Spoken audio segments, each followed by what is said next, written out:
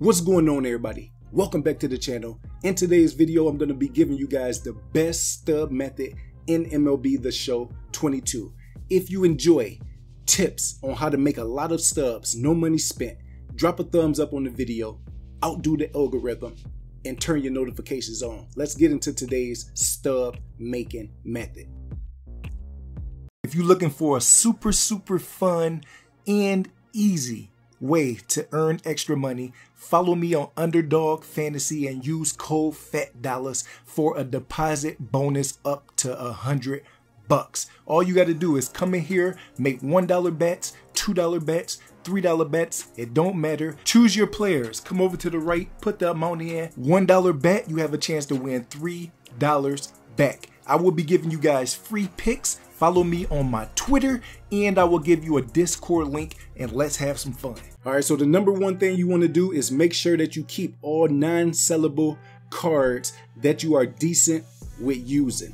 Sell off all the sellable cards. If you look at this 93 overall David Justice, I sold him off when he was about 50,000 stubs. Went back and bought him when he was about 26 K. Okay, so looking at this card, a 93 overall, I have this free 90 overall Luis Robert, parallel four. So he has a plus four overall. So this free card right here is currently better than this 93 overall David Justice. Okay, so no money spent. You want to be smart with your stubs and your investments. That's the number one and most crucial part of being no money spent. Now let's get into some investments in the binder. Now this year they switched the quick sell value on a lot of cards. So if you look at this 85 overall Shane Bieber, this 85 overall is almost 5,000 stubs, meaning that it's better to sell him off creating a sell order than to quick sell your card. So what you want to do is you want to find cards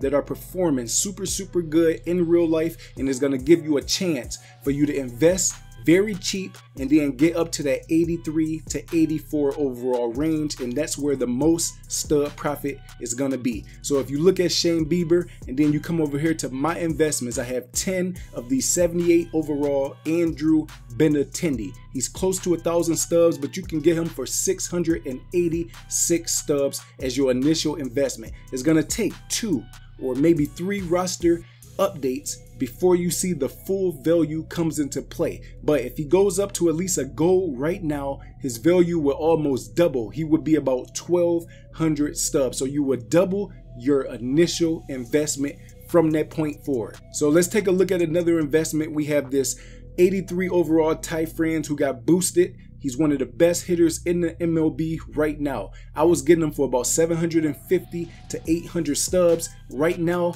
he is over double the value. One more upgrade, he needs a plus two for a diamond. You will be seeing him at a 3,000 quick sell or closer to 5,000 stubs on the market. That would be over a 4,200 stub profit on each and every investment. So I have 18 of them right now that I have already double and triple my initial investment. I'm going to hold on to him to see if he goes to at least an 85 or 86 overall. And if you've been following this channel, that's a lot of stubs. 79 overall JP Crawford is another good investment. It's going to take him two to three roster updates before you see his full value come into play. But if he gets at least a plus one and then another plus two over the next few roster updates, you will be to double your initial investment. I have 27 of them. I'm going to get three more of these and two more of these. As long as you have six to eight good investments, you can easily have 500,000 stubs off of roster updates,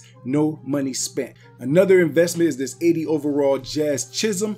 I can see him going to about an 83, 84 overall over the next two updates. His stub has went all the way up from 700 to 1200 stubs. Another sneaky one is 76 overall, Jesus Sanchez. He's been playing pretty decent throughout the year. A couple more big games, I can see him getting to about an 80 overall over the next two updates.